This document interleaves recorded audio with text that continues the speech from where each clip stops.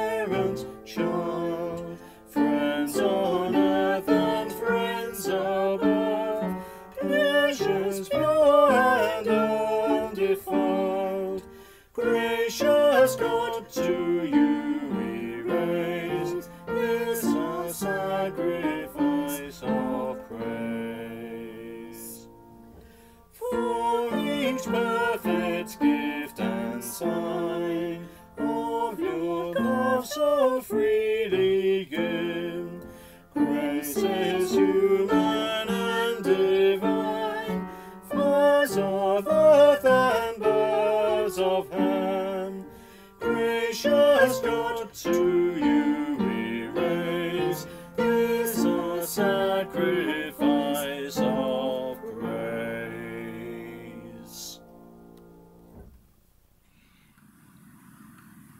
to imagine in this opening prayer that the earth, the sea, and the fields have their own character. They're only able to speak as though they were human beings.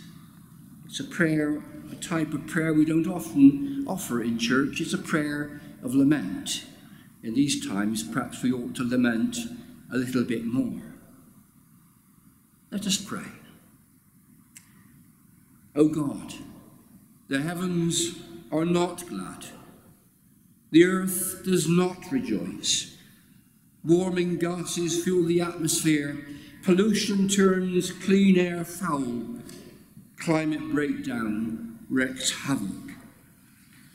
The sea roars with grief at all the plastic that fills it, of the destruction of the coral reef. The fields exclaim despair for delayed rains and prolonged drought, for species extinction on a daily basis. No song of joy rings out from the trees of the forest, decimated by forest fires. How long, O Lord, how long until your justice comes for all your creatures and all the earth? In you we put our trust. Amen. Our prayer of confession. O Lord, we plead forgiveness for our selfishness, our greed, and our pride.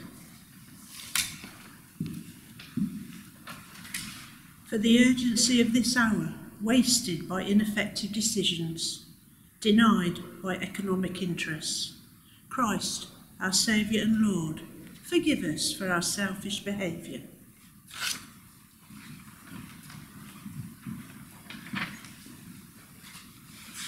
For the joy of human love fractured by forced migration, crushed by bereavement, lost to typhoons, floods, starvation.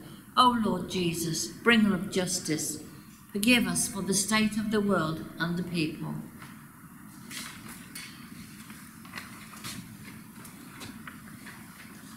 Hear our prayers, O Lord, and may we know that in all of this, even in all of this, we are still forgiven for Jesus' sake. Amen. We continue in worship as we sing the hymn, The Kingdom of God.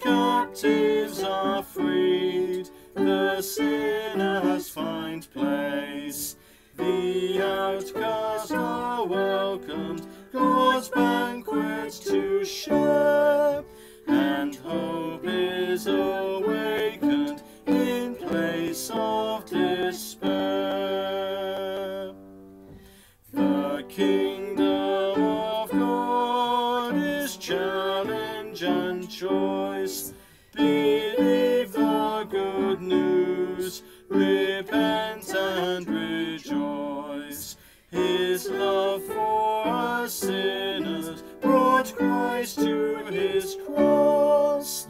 Our crisis of judgment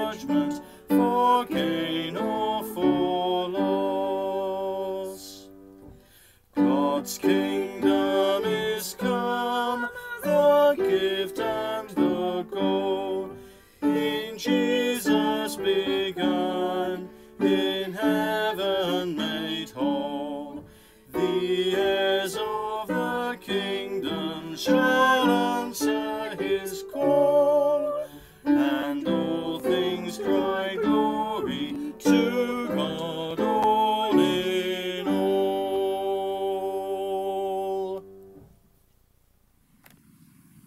Well, good morning.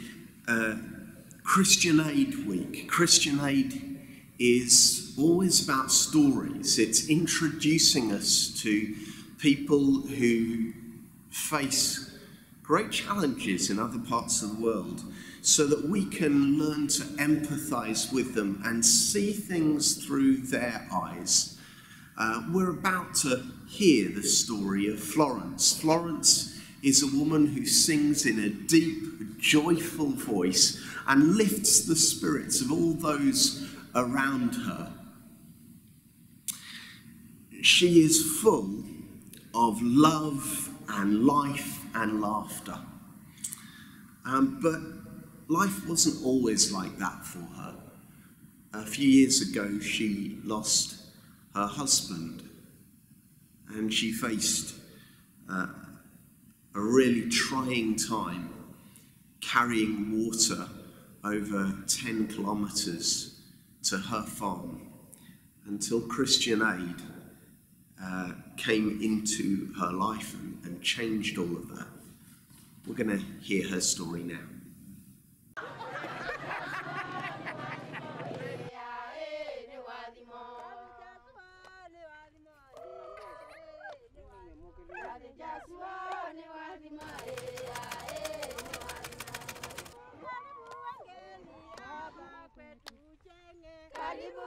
kwa, ma, kwa masita ndita Florence mbona muthiani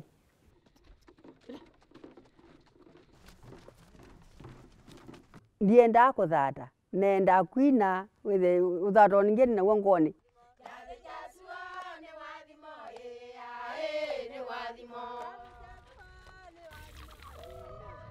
ni kwituga nethawa uko la ukovu nakuithuga vandu va jeshi la ukovu ni makwina na nyina namanyie kwina kuma tene nyini nakwina na nyina ndeto cia ngai ndiese ndeto cia bandininandetoa ngai ambakisya ngai. Nä kwetha nambitavisye ni sukulu nai matwaatwaana kotinä ndu tasai nake syana ina ila wetiwe nyeni nekalle näumisye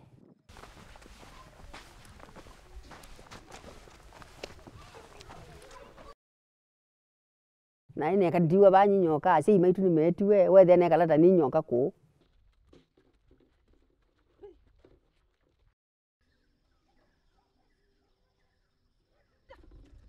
Sindi umadawa nailogwo natuo tukweta nguku usikibutuma sia kwasa.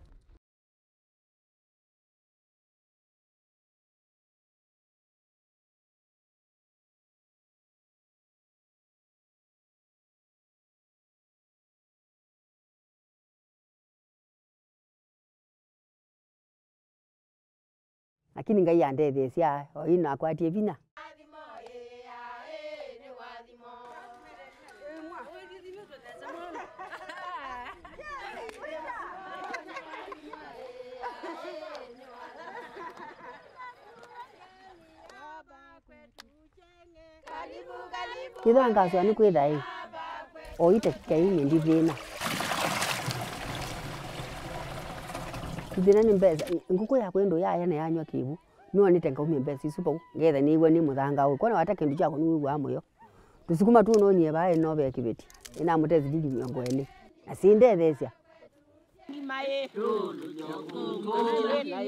na malunga miongo ngima yetu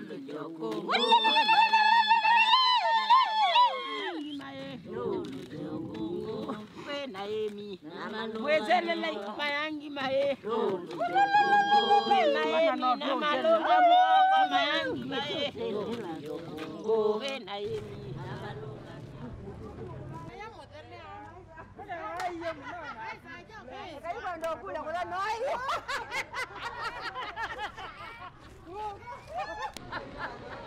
Eko hapa.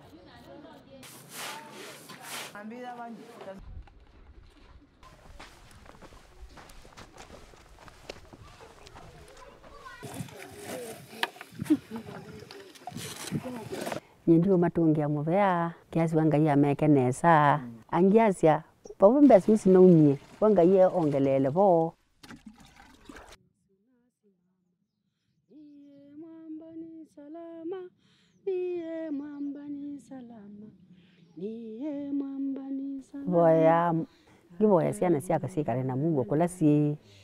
angivoya mbuaiwia andu ithekela mundu wakwatakai ndoo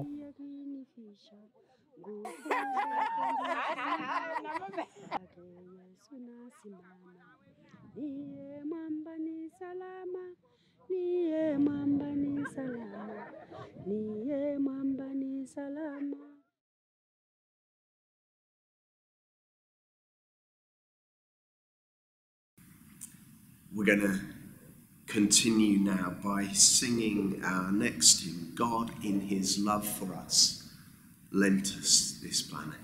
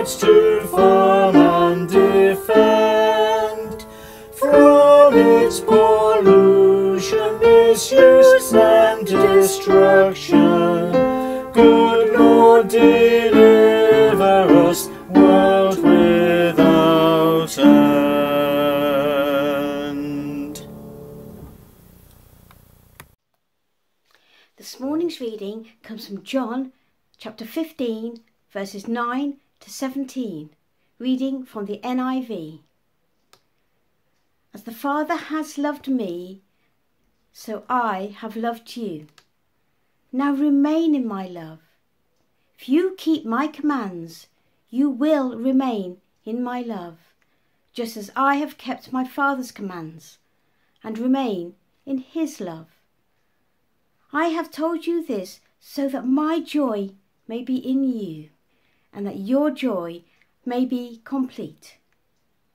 My command is this love each other as I have loved you. Greater love has no one than this to lay down one's life for one's friends. You are my friends if you do what I command. I no longer call you servants, because a servant does not know his master's business. Instead, I have called you friends. For everything that I have learnt from my Father, I have made known to you. You did not choose me, but I chose you and appointed you so that you might go and bear fruit, fruit that will last, and so that whatever you ask in my name, the Father will give you. This is my command. Love each other. Praise be to God for the reading of his word. I've titled this word Christian Aid Week every week. As we listen to John chapter 15, I hope you don't think that we've cut the service into two. The pandemic and the COVID crisis and the lockdowns have allowed us to use our memories, none more so than your speaker this morning, who reflects on childhood and its innocence. We went on holiday every year once, and at the end of our holiday, our cases were deposited on top of a large wardrobe, and there they stuck until the next year, unless some family celebration took place in between. Uh, and it was as though we'd done something different for one week of the year, and then life returned to normality to the next year. I don't think that, like our cases at the end of our holiday on top of the wardrobe, I hope that you haven't felt that the service is now cut in two. We've done our Christian Aid bit for another week, another year, that we can put it away uh, until next year, and then we go on to something more important. I want to emphasize that this word and this service is all of one piece.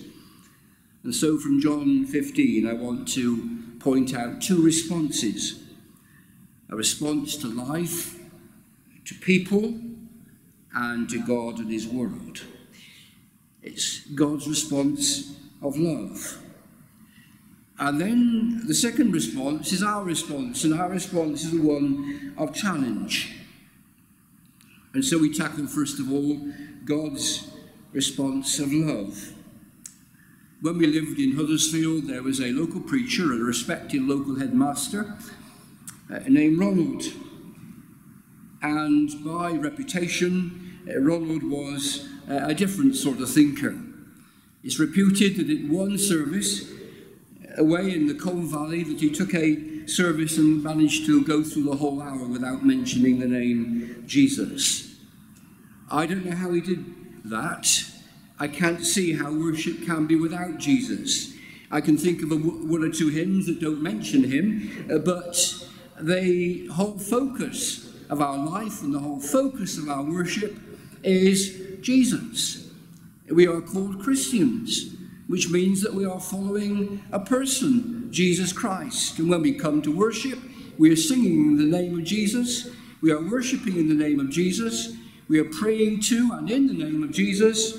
And when we set the table out and remember, then we're remembering the sacrifice of Jesus. Greater love of no man than this, that he laid down his friends and laid down his life for his friends.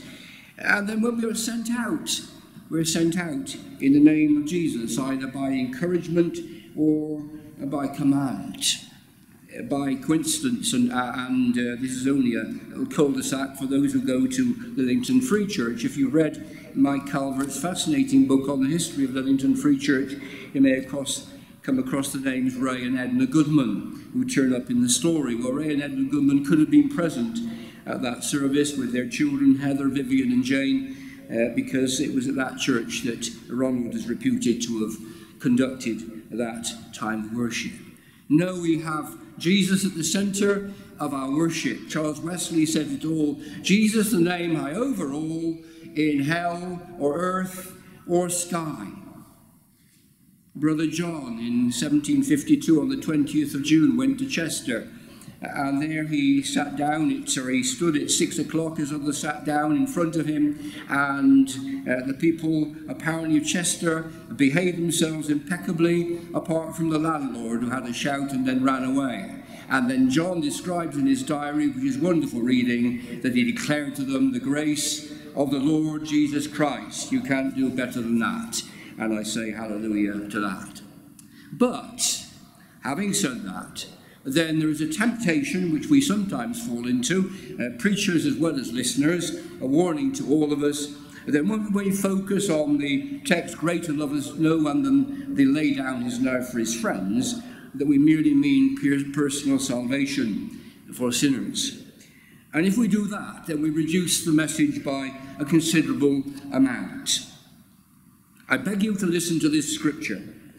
It comes from Paul in Colossians chapter 1, if you want to look it up, and it says this Jesus is the image of the invisible God, the firstborn of all creation. For by him all things were created. He is before all things, and in him all things hold together.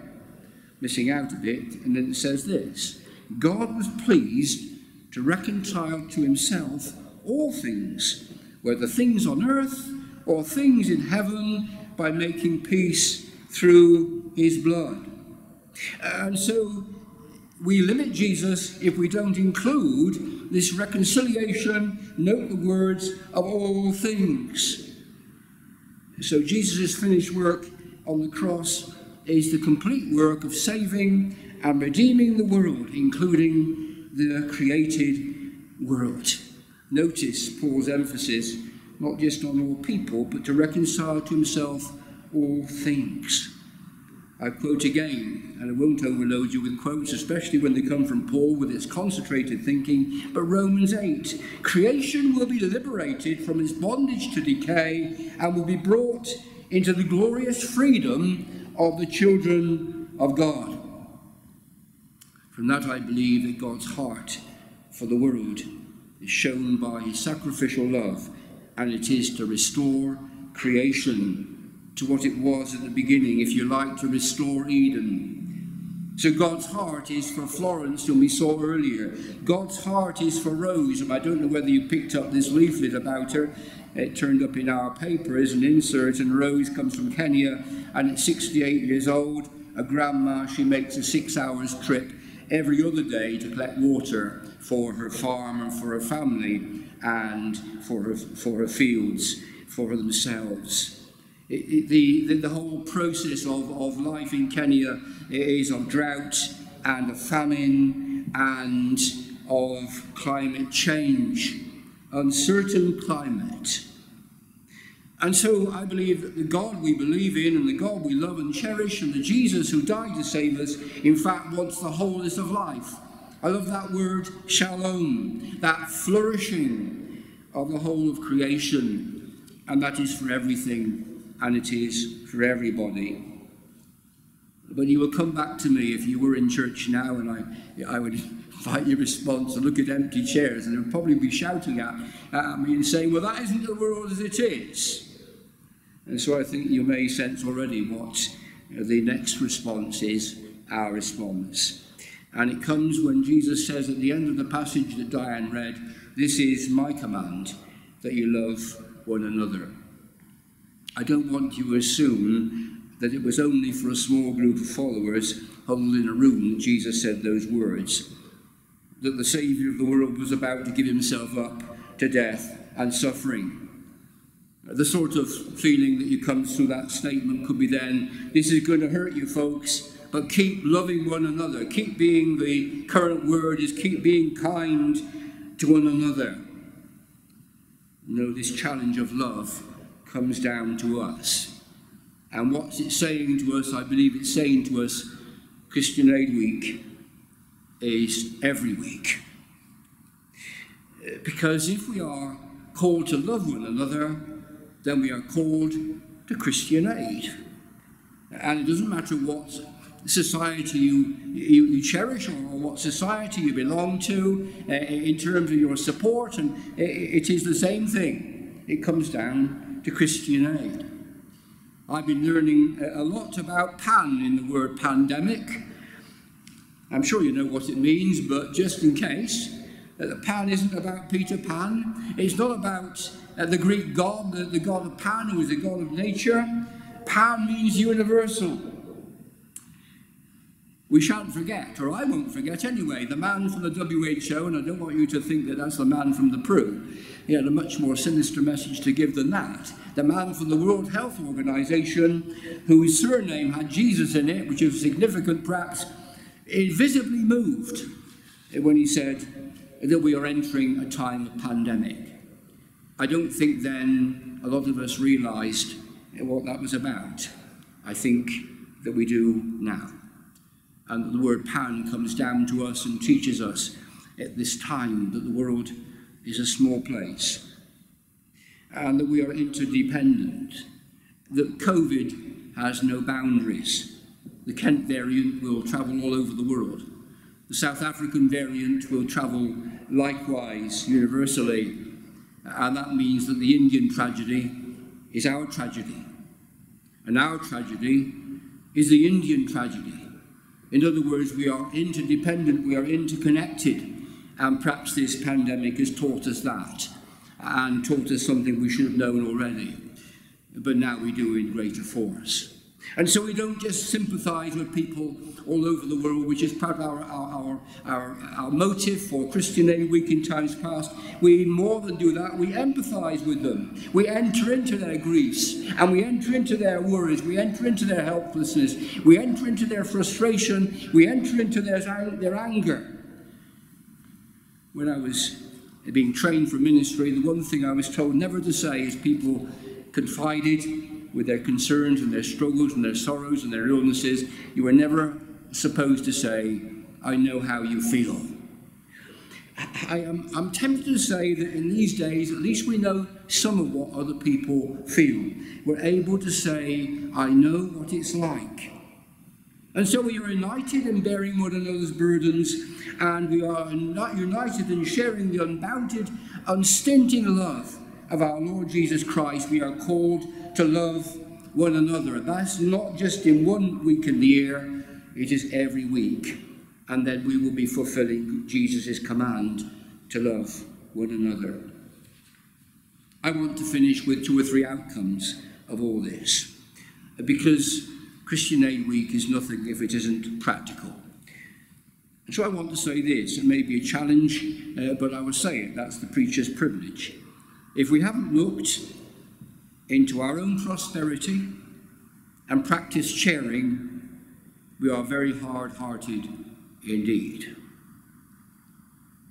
And then secondly, if we are not feeling the struggles and the fear of our world then we are being very insensitive. And then if we have not taken it all to God in prayer, then we're falling short of who we are as Jesus' people. I never cease reading the biographies of the greats, and I've just finished a biography of the great missionary Hudson Taylor. Uh, it's an inspiring story, it's also a very challenging story. In 1865, Hudson Taylor had a significant happening to him, and that was, of all places, on Brighton Beach. It was Sunday morning, and in normal times, Hudson Taylor would go to church. But you know what? He forsook church. He couldn't stand going into a church and worshipping with a thousand people. Yes, I mean a thousand people, because a million people a day were dying without the knowledge of Jesus Christ in China. It was a significant experience for him, and so he prayed for 24 willing workers to go with him to China to evangelize, to take the Christian message in all its wholeness to that great nation. The next day he went into the bank and he put 10 pounds into an account under the name China Inland Mission, and after it, their biographer is written in uppercasing in capital letters with all the promises of Christ. Hudson Taylor's great mantra, if you like, was God's work, done in God's ways, will never lack God's supplies. Never underestimate the power of prayer. I have a colleague who lets us know the, very, very sensitive times which she needs us to pray about and the people which she needs to pray about. And there was one issue a few weeks ago, she uh, said that something that happened was breaking her heart. Just only a week ago, I walked with her around Draycote Water. It was a powerful experience, and she said, Bless you and thank you for your prayers. The matter is resolved. Now, I'm confessing that prayer is not always answered in that sort of way. way. Uh, but never underestimate the power of prayer. And so this Christian Aid Week is not the second week of May anymore. It is a consistent, persistent practice of self-giving, and thereby we make a difference. And in a way, I don't know whether you've noticed, we come back to Jesus, and these two responses in the reading from John chapter 15 they come together. We take up the self sacrifice of Jesus as we love one another. We pray for what is laid upon us to pray. We give as we see need. We may not be going house to house this week. We may not be having our sponsored walk and supporting it. We may not be having the concerts or any other fundraising activities. It's not visible, but it could be a very significant time if we let go and let God have his way in us and it will always be the way of love. Amen. We're going to sing the song, In My Life, Lord, be glorified. In my life, Lord, be glorified today.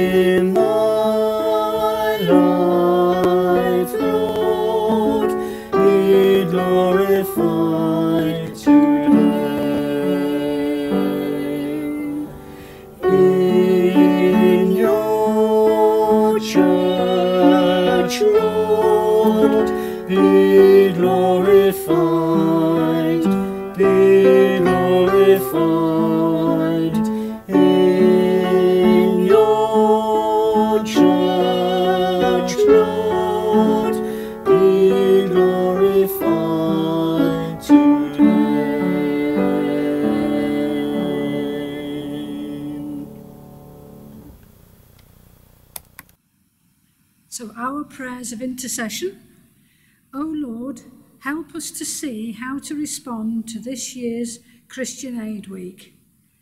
There will be no public collecting, no sponsored event, no special concert. But there is a deeper response to be made, that of the offering ourselves in love to your world. May we all decide to do everything we can to love our world and its people more than ever. Help us to see that they need love in the many ways in which it is shown. May all who benefit from that love that comes from you know that it is only love when it is shared. May we know that it is Christian Aid Week every week. Lord, in your mercy, hear our prayer.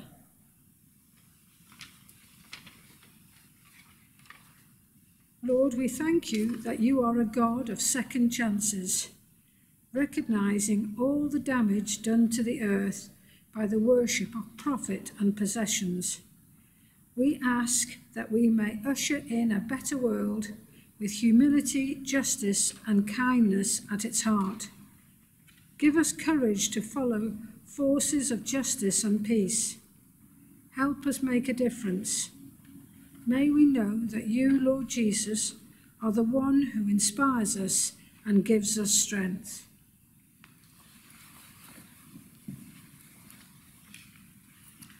Lord, in your mercy, hear our prayer.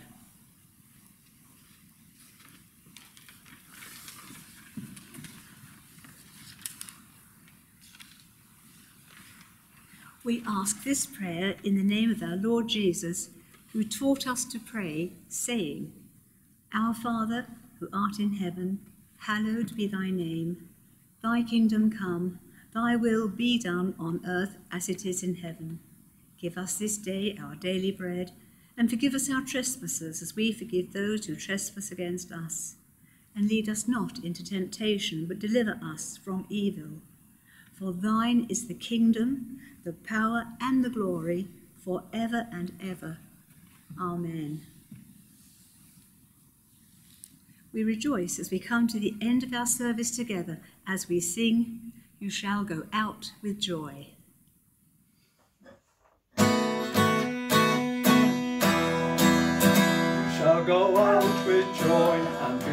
Forth with peace. And the mountains and the hills shall break forth before you. There'll be shouts of joy, and the trees of the field shall clap, shall clap their hands. And the trees of the field shall clap their hands. The trees of the field shall clap their hands. And the trees of the field shall clap their hands. And you'll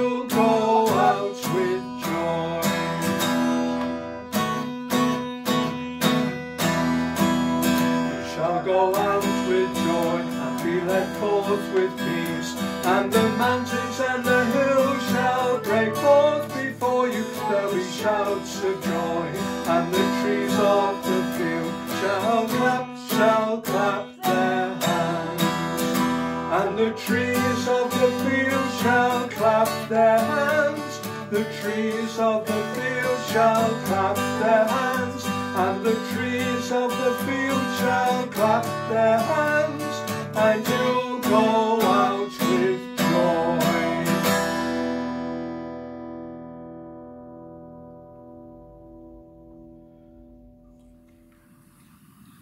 our blessing and our benediction. May God bless us with wonder at creation's glory. May God give us fury at creation's spoiling. May God bless us with courage at this critical hour. And may the blessing of God, Father, Son, and Holy Spirit rest upon us and all creation this day and for the future to come. Amen.